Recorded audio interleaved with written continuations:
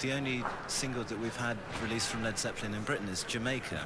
Yet in America there have been quite a number of singles, principally really Whole Lotta Love. Why is it that there have been no singles in Britain? Um, in fact, that's that's Led Zeppelin, Zeppelin, Zep, Zep, Zep, Zep, Zep, Zep, Zep, Zep, Zep, Zep.